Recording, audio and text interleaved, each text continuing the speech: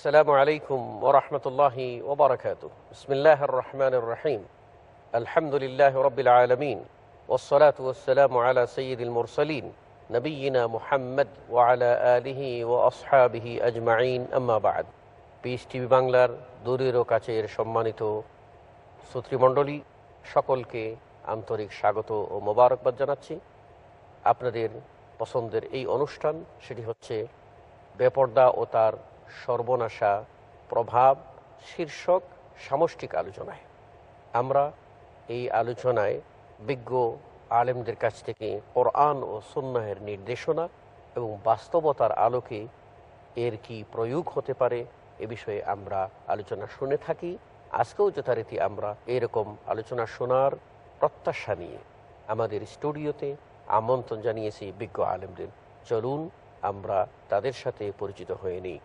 আমাদের সাথে যোগ দিয়েছেন আজকে আমার ডানে উপবিষ্ট বিশিষ্ট আলেমেদিন শিক্ষাবিদ প্রফেসর ডক্টর আবদুল্লাহ জাহাঙ্গীর। আসসালামু আলাইকুম ও রহমতুল্লাহি ওবরাকাত আর আমার সর্ববামে রয়েছেন বিশিষ্ট আলেমেদিন শেখ মুজফর বিন মহসিন। আসসালামু আলাইকুম ওরহমতুল্লাহ ওবরাকাত আর আমার বামে রয়েছেন তরুণ আলেমেদিন শেখ আহমদুল্লাহ। আসসালামু আলাইকুম রহমতুল্লাহ বরকাত আর যথারীতি আপনাদের সাথে রয়েছি হারুন হোসেন। আসুন, আমরা বিষয়টি উপভোগ করার চেষ্টা করি। পর্দা। বেপর্দার সর্বনাশা প্রভাব, এটি বুঝতে গেলে আমাদেরকে পর্দা সম্বন্ধে বুঝতে হবে। আর পর্দা, পর্দার প্রাসঙ্গিক বিষয় এবং পর্দার যে পোশাক হবে, সে পোশাকের কি নির্দেশনা রয়েছে শরীয়তে, এ বিষয়ে আমরা এ যাবৎ কয়েকটি পর্বে সুন্দর প্রামাণ্য আলোচনা শুনে এসেছিলাম, আজকে আমরা যাব বেপর্দাকে। এবং বেপর্দা, এটি এর কুফল কি হতে পারে? এ ব্যাপারে আমরা আলোচনায় যাব। তাই আমরা আলোচনা সূত্রপাত করার জন্য প্রথমে আহ্বান জানাচ্ছি থাবাররুজ বা আপনার পর্দাহীনতা, এটা বলতে কি বোঝায়? জানাব ডক্টর আবদুল্লাহ জাহাঙ্গীর। নাহমাদুহানুসাল্লাহ আল্লাহ রাসুলহিল করিম, আম্মা বাদ। আসলে আমরা আশা করি দীর্ঘ পর্বের ভিতরে বুঝেছি বেপর্দা বা পর্দাহীনতা অর্থাৎ পর্দার কোনো না কোনো দিকের অনুপস্থিতি। তাবাররুজ আরবি পুরনো শব্দ আরেকটা শব্দ আছে সুফুর। সফর। এটা হলো পর্দা বা পর্দার কোনো একটা দিককে লঙ্ঘন করে বাইরে যাওয়া বা ঘরে থাকা। অর্থাৎ পর্দার যে বিধানগুলো আমরা দেখলাম এর কোনো একটা অবমাননা করা অথবা আংশিক পালন করা পালন না করা এ সবগুলোই বেপর্দা বলে গণ্য। আর বেপর্দার মূল যে বিষয়টা এটা হলো শয়তানের একটা ফাঁদ। এটা বুঝতে গেলে আমাদের কোরআন কারিমে যেতে হবে। আমরা গত এক পর্বে একটা আয়াত আলোচনা করেছিলাম মনে আছে যে আল্লাহ তাআলা আদম আলহিসাল্লাম এবং হাওয়া আলহিসাল্লামকে শয়তান কীভাবে জান্নাত থেকে বের করল এই ঘটনা উল্লেখ করার পরেই পোশাকের ঘটনা এনেছেন। আদম আলহিসাল্লামের ঘটনাতেও পোশাকের কথাই আসছে। এরপরে আল্লাহ বললেন যে আমি তোমাদেরকে পোশাক দিয়েছি যা তোমাদের সতর আবৃত করবে এবং তোমাদের সৌন্দর্য। সৌন্দর্য এরপরে আল্লাহ তালা আমাদেরকে কি বলছেন? ইয়া বানি আদম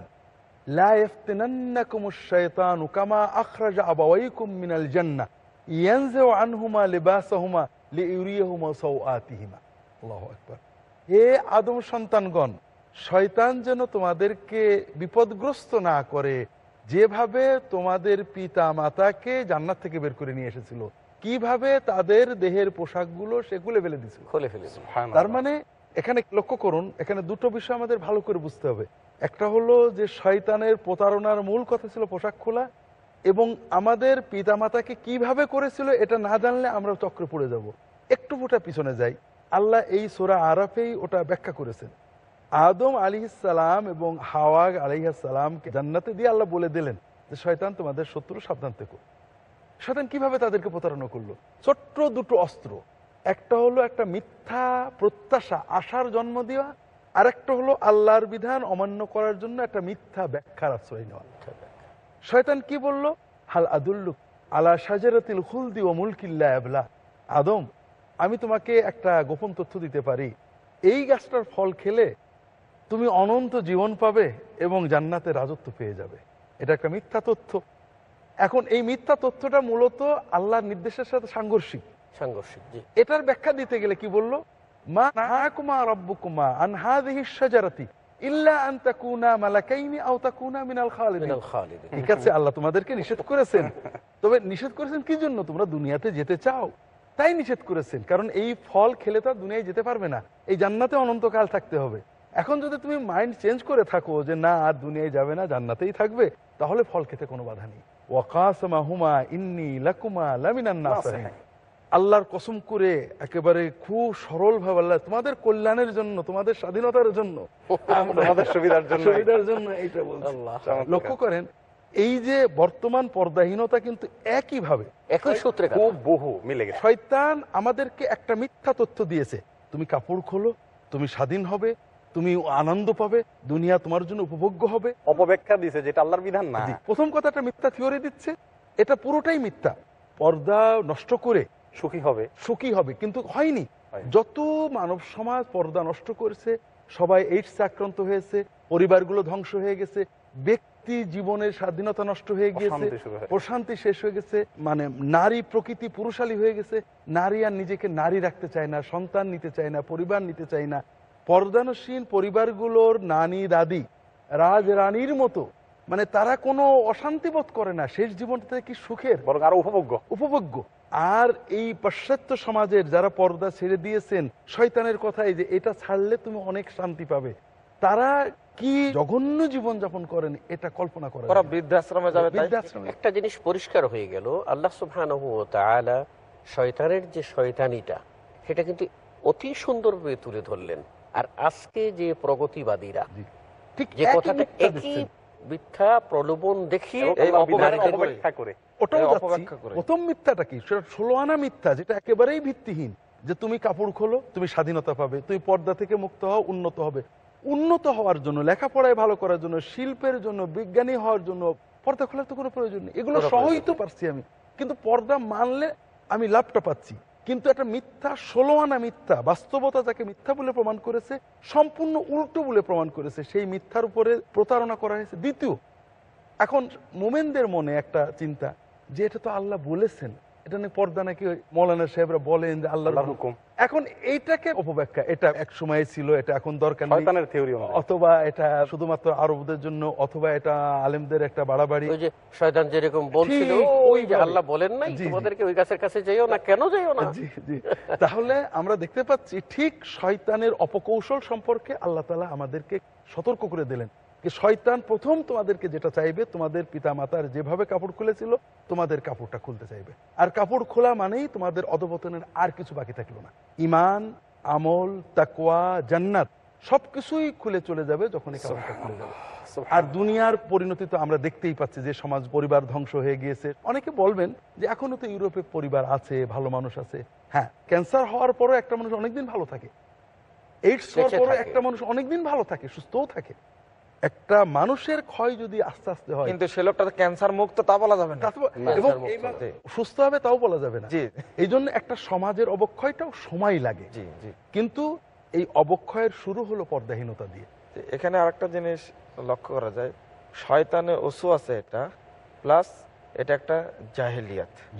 যে তিন শ্রেণির মানুষের উপরে আল্লাহ গজব বর্ষণ করেন তার মধ্যে এক শ্রেণির মানুষ হলো মুবতাকিন ফিল ইসলামের সুন্নাতাল জাহেলিয়া ইসলামের সমাজে জাহিলিয়াতের বিস্তার পুনরাবৃত্তি ঘটানো। ঘটাবে। এখানে পুনরাবৃত্তি একটু ঘটানো। যুক্ত করি শেখের সাথে জাহিলিয়াতের কথা যেহেতু এসেছে আমরা সবসময় কিছু হলেই বলি এটা আইএম জাহিলিয়াতের কাজ আইএম জাহিলিয়াতের কাজ আসলে জাহিলিয়াত কি শেষ হয়ে গেছে অবকর জাসাস রহমতুল্লাহ আলাই এই আয়াতের তাফসিরে ব্যাখ্যায় বলেন যে ওলা তাবরাজনা তাবারুজাল জাহিলিয়াতুল উলা আল্লাহ তালা কিন্তু শুধু জাহিলিয়াত বলেন নাই আল্লাহ তালা বলছেন জাহিলিয়াতুল উলা উলা।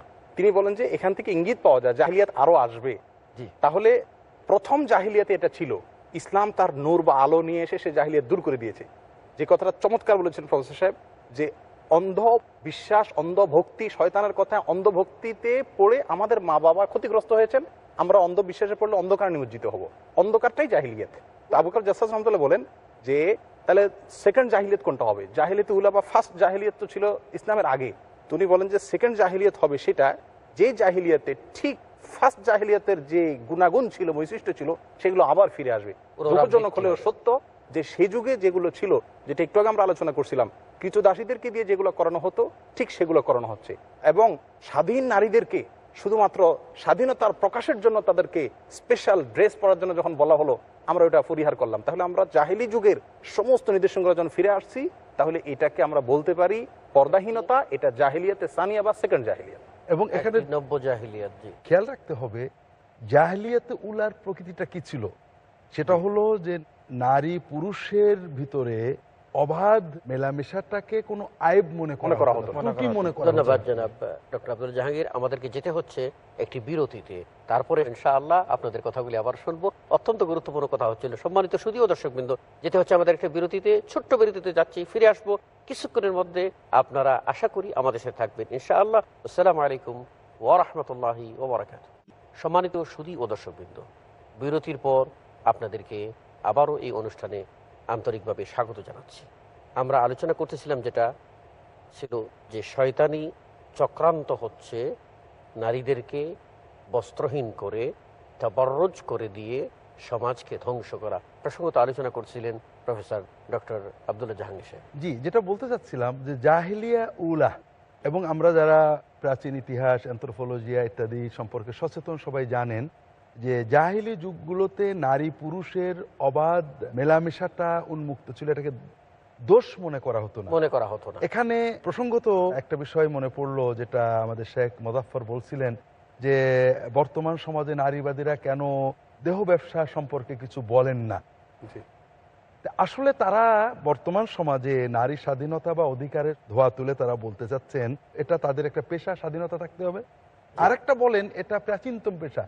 ওল্ড এজ প্রফেশন এর চেয়ে বড় মিথ্যার দুনিয়াতে নেই। পুঁজিবাদী সমাজ ব্যবস্থা প্রতিষ্ঠার আগে কোনো নারী দেহ বিক্রি করেনি। নারী পুরুষ অবাধ মেলামেশা একটা জিনিস আর দেহ বিক্রি করাটা একটা জিনিস। নারীর সবচেয়ে প্রিয় জিনিস যে সম্ভ্রম যেটা ভালোবাসার বাইরে মূল সম্পদ সেটা কোনোদিনই পুঁজিবাদী সমাজ ব্যবস্থায় মানুষ জুলুম হওয়ার আগে কখনো এটা ছিল না। যেটা বলছিলাম একটা জিনিস ছিল প্রাচীন জাহিল সমাজে নারী পুরুষ অবাধ মেলামেশা সম্ভ্রম বোধটা ছিল না। ছিল না। এটার মহাপরিণতি নতুন জাহিলিয়াতে আমরা দেখি। আপনারা জানেন এইডস রোগটা আফ্রিকায় মহামারী। কেন? আফ্রিকা এবং ইউরোপ আমেরিকাতে। এটা কেন জানেন? সকল ধর্ম অশ্লীলতা এবং নারী পুরুষের অবাধ মেলামেশাটাকে নিরুৎসাহিত করে নিষেধ করে। সকল ধর্ম সকল আসমানি ধর্ম ব্যতিক্রম হলো আফ্রিকার ধর্মহীন মানুষেরা এটা বোঝে না। আর যে কারণে আফ্রিকার দেশের পর দেশ শুধু এইডসে উজাড় হয়ে যাচ্ছে। আর আমরা আলোচনা করেছিলাম যে ঈসা মাসি আলী সালামের তিরোধানের পরে সাধু পল এসে মানুষদের ভিতর থেকে নৈতিকতা অনুভূতিকে দূর করে শুধু বিশ্বাস করো, যিশু তোমার পাপ বহন করবে। এই মিথ্যা প্রত্যাশা দিয়ে প্রচলিত খ্রিস্ট ধর্মর ভিতরেও পাপের প্রবণতা তৈরি করেছেন। যে কারণে তারা ব্যবিচার পাপ এ কথা ইউরোপে আমেরিকা বলা যায় না। ব্যবিচারটা এমন ভাবে ছড়িয়ে একই জিনিস তো আমাদের সমাজে আছে স্যার। মানে মেয়েদেরকে আমরা দেখি যে বেপর্দা নারীরা যারা মাজারে বিভিন্ন পীরদের কাছে যায় নাজাতের জন্য বিভিন্ন যেটা আপনি আগেও বলেছিলেন তারাও তো যায় এই আশায় যে ওখানে গেলে সব মাফ হয়ে যাবে। অর্থাৎ ওখান থেকে আসতে ঠিক আছে কিন্তু আমাদের সমাজে এটা বসে গেছে। যদি সূত্র খুঁজি তাহলে দেখতে পাবো সেই অভিশপ্ত শয়তানি তো এই রকম মিথ্যা কথা দিয়ে মিথ্যা এবং এবং এখানেও আমি প্রসঙ্গ মনে করাই দিলেন। ঠিক সাধুফল একইভাবে মিথ্যা এবং ব্যাখ্যা। ইসা মাসি বর্তমান প্রচলিত যে ইঞ্জিল এর ভিতরেও বারবার বলেছেন তোমরা শরীয়ত পালন করো শরীয়তের এক ইঞ্চি বাইরে গেলেও জান্নাত পাবে না পাপ করো না ব্যবিচার করো না চোখ দিয়ে অন্তত পরনারীর দিকে তাকাবে না তোমার চোখ যদি পরনারীর চোখ তুলে নাও এটা দুনিয়াতে ভালো নয় এটা আখেরাতে পুরো দেহ জাহান নামে পড়বে। আমি তোমাকে মুক্তি দিতে পারব না। আমাকে ভালো বলো না। আমার কোনো মুক্তি দেওয়ার ক্ষমতা নেই। আখেরাতে আল্লাহর ইচ্ছাই সব হবে। অনেক মানুষ দুনিয়াতে আমাকে রব্বি রব্বি বলবে প্রভু প্রভু বলবে। কিন্তু আখেরাতে আমি তাদের বলব তোমাদের কোনো মুক্তি নেই। তোমরা পাপ করেছ আমার আল্লাহর। এ সব কথাই কিন্তু এখনও ইঞ্জিলের এখনও বিদ্যমান। সাধু ফল এই সব কথাগুলোর বিরুদ্ধে তিনি বললেন কিছু না তুমি শুধু বিশ্বাস করো তোমার জন্য জান্নাত নিশ্চিত। শরিয়াত মেনে যে জান্নাতে যেতে চায় সে অভিশপ্ত।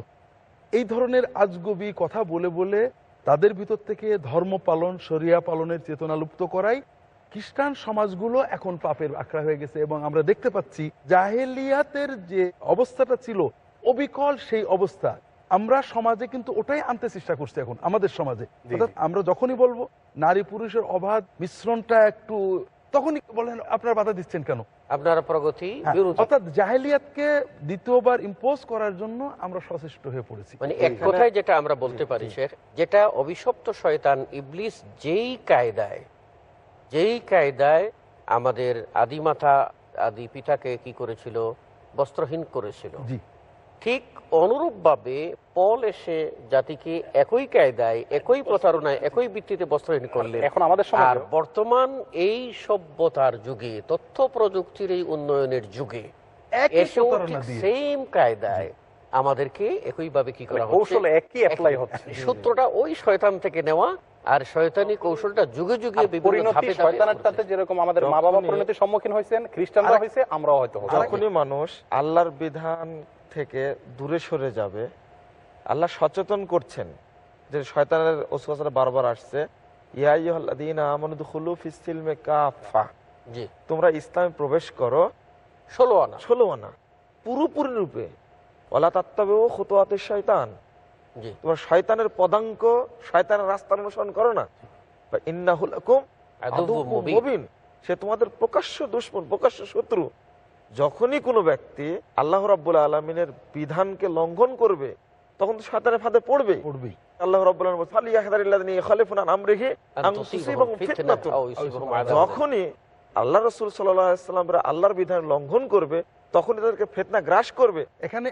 ওই আয়াতের পরের আয়াতটা আমরা ভুলে গেছি আলোচনায় আসেনি। এটা আরও সুন্দর। আল্লাহ তালা এরপরে কি বলছেন? শয়তান তাদেরই বন্ধু যাদের ইমান নেই। এরপরে আল্লাহ বলছেন ইদা কালু ওয়াজাদনা আলাইহা আবাআনা আল্লাহ আমারানা বিহা মানে এই যে পর্দাহীনতা পোশাক অনাবৃত হওয়া এ ব্যাপারে তাদের কিছু বললে অশালীন কিছু করলে তারা দুটো যুক্তি দেয়। একটা হলো এটা তো আমাদের দেশের রীতি। পিতা মাতা এটা। তো দেশ কৃষ্টি কালচার এটাকে বাদ দেবো কি করে? আর একটা হলো আরও খারাপ কথা যে আল্লাহ এটা অনুমোদন করেছেন। আল্লাহ নামে মিথ্যাচার। হ্যাঁ এই দুটোই মানে কিন্তু একটা হলো সামাজিক কালচারের দোহাই। আরেকটা হলো এটাকে আল্লাহ ধর্মের নামে বৈধতা দেওয়া। আল্লাহর নামে মিথ্যা কথা। মিথ্যা বলে বৈধতা দেওয়ার চেষ্টা করা যেটা আমরা সাধু পলের বানানো ধর্মে দেখেছি।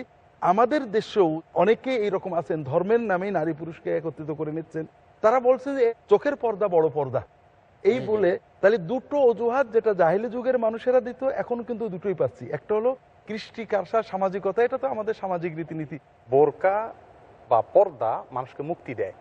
আর পর্দাহীনতা এটা শেখ যে আয়াতটি উল্লেখ করলেন যে খিজিয়ন ফিল হায়াতের দুনিয়া দুনিয়ার জীবনকেও লাঞ্ছনাময় করে দেয় আর আখেরাতে শাস্তি তো আছেই। এর জ্বলন্ত প্রমাণ একজন প্রতিষ্ঠিত লেখিকা আমি নাম বলতে চাচ্ছি না তার এক বইতে লিখেছেন বইটা অনেকেই পড়েছেন হয়তো বা আমি ব্যক্তিগতভাবে পড়েছি ওই বইতে তিনি লিখেছেন তিনি সারা জীবনের জন্য পর্দা বিরুদ্ধে সংগ্রাম করে সারা জীবন কাটাচ্ছেন। ভদ্রমহিলা লিখলেন যে, আমার বিরুদ্ধে যখন সারা দেশে উত্তাল সংগ্রাম চলছিল আমার লেখালেখির কারণে, তখন আমাকে কোর্টে হাজির হতে হবে। এমতো মুহূর্তে তিনি বলছেন যে, আমার ভাই আমাকে বললেন, দেখো, আমি নিজে পড়েছি, বইটার নাম খ। পৃষ্ঠা নম্বর বলতে বলতে বইটার নাম খ। বলছেন যে, একটা বোরকা এনে, কালো বোরকা এনে বললেন যে, এটা তুমি পড়ো। উনি বললেন যে, আমি ভাইকে বললাম, তুমি কি বলছো? বলে যে, আমার পশম দাঁড়িয়ে গেছে শরীরের। এর বিরুদ্ধে সারা জীবন সংগ্রাম করেছি এই জন্য আমার এত অবস্থা আজকে আমাকে এটা পড়তে বলছো? বলে যে আজকে এটা না পড়ে তুমি কোর্টে কীভাবে উঠবে? আর কোর্টে না উঠলে তুমি জামিন কীভাবে নিবে? তোমার রেহাই বললেন যে তুমি যদি আজকে গাড়িতে যাও কোর্টে যাও তোমাকে রাখবে না মানুষ। এত তাল হয়ে উঠছে জনগণ। অতএব তোমাকে বাঁচার একটা উপায়টা পড়তে হবে। উনি বললেন যে আমি পড়ে নিলাম। মনের দুঃখে কষ্টে পড়ে কোনো রকম কোর্টে গেলাম যাবেন নিলাম চুক্তি হলো দেশে বাইরে চলে যাব। যাওয়ার সময় আবার সে একই কাণ্ড আবার সে বোরকা এনে আমার সামনে হাজির করা হলো। বলল যে এটা পড়তে হবে তোমাকে তাহলে এয়ারপোর্টে যেতে পারবে। ওরা সবাই এয়ারপোর্টের পুরো রাস্তা ছেয়ে গেছে। তোমাকে যেখানে পায় শেষ করে ফেলবে। তুমি বোরকা পড়তে পারো, এটা ওরা ভাবে না। অতএব বোরকার বিরুদ্ধে থাকলে ওরা ওই গাড়িকে সন্দেহই করবেন। তুমি বাঁচার একটি মাত্র উপায় যদি বোরকা পড়ো। আল্লাহ তারা যদি হেদায়ত নসিবে রাখতেন, তাহলে বুঝতেন যে আমার জীবনের শেষ ভরসা এই বোরকাই ছিল। এই পর্দাই আমাকে রক্ষা করেছে। অতএব এখান থেকে তো আমরা শিক্ষা নিতে পারি যে পর্দা আমাদেরকে রক্ষা করবে। আর পর্দাহীন যদি হতেন তিনি তাহলে অন্তত ওই দিনের জন্য তার জীবন শঙ্কার পিছনে পড়ে এখানে একটা বিষয় আমি আরও সংযুক্ত করতে চাচ্ছি যেটা হলো এই যে এই যুক্তি দেখিয়ে কেউ যেন আমরা না বলে খুশি যে এই ধরনের একটা সুবিধা। নিয়ে সুবিধা নিয়ে এর অন্তরালে আমরা কিছু অন্যায়কে আশ্রয় দেব প্রশ্রয় দেব কখনো হতে পারে না। ইসলাম কখনো কোনো প্রকার অন্যায়কে সমর্থন করেনি অন্যায়কে প্রশ্রয় দেয়নি এবং অন্যায়কে প্রশ্রয় যারা দিয়েছে তাদেরকেও প্রশ্রয় দিতে ইসলাম সমর্থন করেনি। এটা সেক্ষেত্রে বলা দরকার বোরকা পরে কেউ অন্যায় করতে পারে। বোরকাকে তার অন্যায় কাজের মাধ্যম হিসেবে ব্যবহার করতে পারে। তার জন্য বোরকা দায়ী হতে পারে না। মানুষ কিন্তু খারাপ কাজ করার জন্য সাধুর ভান ধরে ভালো মানুষের ভান ধরে। তাই বলে ভালো মানুষকে কেউ দোষারোপ করে না। আমাদের সমাজে অনেকেই বলে যে আরে বোরকা পরে কি করছে তলে তলে? বোরকা পরে কেউ যদি খারাপ কাজ করে তার জন্য সে দায়ী হতে পারে। এটি তো দুই এক মানে এটি হবে রেয়ার কেস এটি ঘটনা হবে হিসাবে আনার মতো হিসাবে আনার মতো নয় এবং একটা জিনিস শেখ যেটা বলেছেন সেটা হলো এটা একটা ভয়ঙ্কর প্রবণতা আছে। অর্থাৎ বোরকা পরে একটা মানুষ খারাপ করেছে এটাকে এমন ভাবে অথচ বোরকা না পরে যে কত রকমের অন্যায় হচ্ছে। যেমন মাদ্রাসার একটা ছেলে ছোট্ট ছোট খাটো যে কোনো অন্যায় করলে এটা শিক্ষা ব্যবস্থাকে দায়ী করা হয়। কিন্তু ইউনিভার্সিটির মেডিকেল কলেজের ইঞ্জিনিয়ার বুয়েটের একটা ছেলে হাজারগুলো ছেলে হাজার রকমের অন্যায় করেছে মহাসাগর চুরি করেছে। আমরা এটা তার পৃথিবীর ব্যক্তিগত দোষ মনে এটা ব্যক্তিগত দোষ মনে করা শিক্ষা ব্যবস্থার এখানে শিক্ষা ব্যবস্থার দোষ মনে করা হয় না। আমাদের হাতে সময় কম মাত্র এক মিনিট আছে। শেখ মুজফর ব্যাপারে কিছু আপনার বলার আছে? আসলে বলার এতটুকুই যে মুসলিম বোনদের প্রতি আমাদের একটা নসিহত থাকবে এই মর্মে যে যারা পর্দার বিরুদ্ধে কথা বলছে তাদের প্রতারণা যেন পা না দেয়। বরং তাদের উচিত হবে এই মর্মে যে ইসলামী বিধান মানার জন্য জাহিলিয়াতকে উপেক্ষা করা। রসুল্লাহ সাল্লামের একটা বাণী বলেই প্রসঙ্গটা ইতি টানা যায়। তিনি বলছেন মান দা বিদাওয়াল জাহিলিয়া ফাহমিন জুসা জাহান্নাম। যে ব্যক্তি জাহিলিয়াতের সাথে আপোষ করল আহ্বান করল যারে থেকে ওই ব্যক্তি জাহান্নামের দলভুক্ত হবে। ওয়াইন সমা ওয়াসাল্লাহ ওয়াজামান্না মুসলিম। যদিও নিজে সিয়াম পালন করে সালাত আদায় করে এবং নিজেকে পাক্কা মুসলিম মনে করে তবু তবুও জাহান্নামের অন্তর্ভুক্ত। সুতরাং জাহান্নাম থেকে ধন্যবাদ সম্মানিত সুদী ও দর্শকবৃন্দ আমরা আজকের এই পর্বের আলোচনা দ্বারা এটা স্পষ্ট হলাম যে আমাদের সমাজে অনেক মানুষ আছেন তারা সলাৎ আদায় করেন সিয়াম পালন করেন হজও করেন জাকাতও দেন। অথচ পর্দাকে একেবারে অবজ্ঞা করে চলেন। এটা যে একটি ফরজ আল্লাহর পক্ষ থেকে বিধান এই বিধান হিসেবে মানতে রাজি নন। সাথে সাথে এটাও জানলাম যে এই পর্দার বিরুদ্ধে আমাদের জাত শত্রু ইবলিশ ষড়যন্ত্র করেছে এবং যুগ যুগ ধরে তার ধূসররা এভাবে বিভিন্ন ষড়যন্ত্র করে আমাদের মা বোনদের ইজ্জতকে হরণ করার অপচেষ্টায় লিপ্ত রয়েছে। সেক্ষেত্রে আমি বলব, সারা পৃথিবীর সকল মা বোনদেরকে বলব যে আপনারা ইসলাম বুঝুন এবং পর্দার উপকারিতা সম্পর্কে সচেতন হন, তবেই এতে মুক্তি ইনশা আল্লাহ আল্লাহ ও তাহলে আমাদের সকলকে তৌফিক দান করুন। প্রত্যাশা ও কামনার চেয়ে আল্লাহর দরবারে আপনাদের সকলের হায়ের ও আফিয়ত কামনা করি। এ পর্বের এখানেই সমাপ্তি করছি। আবারও কোনো পর্বে দেখা হবে ইনশা আল্লাহ আসসালামু আলাইকুম ওরহমতুল্লাহি ওবরাকাত Hmm.